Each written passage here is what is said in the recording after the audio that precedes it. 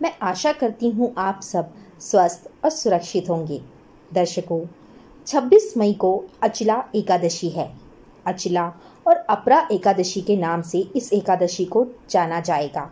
यह ज्येष्ठ मास के कृष्ण पक्ष की एकादशी है। एकादशी गुरुवार के दिन पड़ रही है, इसलिए इसका महत्व और भी अधिक बढ़ गया है। यदि आपके जीवन में बहुत अधिक कर्ज हो गया है धन की कमी के कारण आपको बहुत से लोगों से उधार लेना पड़ा है। कर्ज दिन बाय दिन बढ़ता ही जा रहा है। आप उसे चुका नहीं पा रहे हैं।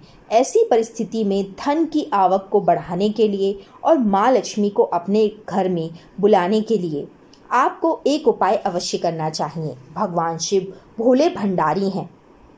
आपको क्या करना है इस दिन कर्ज से मुक्ति के लिए? आपको एक लोटा जल लेना है। एक कलश में आप जल ले लें। पहले थोड़ी देर जल को मिट्टी के किसी पात्र में या मटके में रख लें।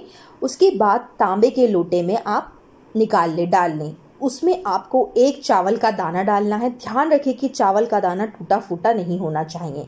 एक चावल का दाना डाल लें और एक काली मिर्च डाल लें। और उसमें थोड़ा सा चंदन, जो भी चंदन आपके पास हो, लाल चंदन हो, पीला चंदन हो, जो भी चंदन हो, थोड़ा सा चीटा उसमें डाल लें। और शिव मंदिर जाकर, सुबह के समय यदि आप यह उपाय करते हैं तो बहुत अच्छी बात है, या फिर आप इसे प्रदोष काल में करें। आपको शिवलिंग पर अर्पित करना है। धीरे धीरे पूरे शिवलिंग पर आपको अर्पित करना है। पहले चारों तरफ़ अर्पित करें, उसके बाद शिवलिंग पर ऊपर की तरफ़ आप अर्पित करें। और श्री शिवाय नमस्तुभ्यम मंत्र का स्मरण करें। आपकी मनोकामना अवश्य ही पूर्ण होगी। धीरे धीरे कर्ज से आपको मुक्ति मिल जाएगी और धन की आवक घर में बढ़ेगी। साथ ही में आप शिवजी का जो जलाधारी से जल है, वो घर वापस लेकर आएँ और अपने मंदिर में रखें।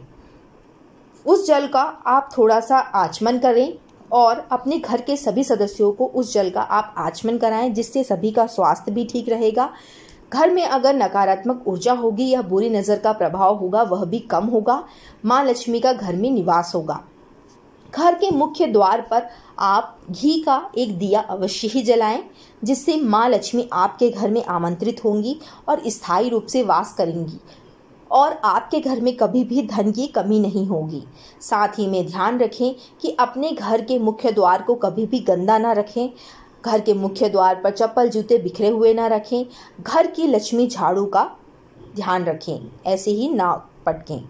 श्री शिवाय नमस्तुभ्यम दर्शकों, धन्यवाद।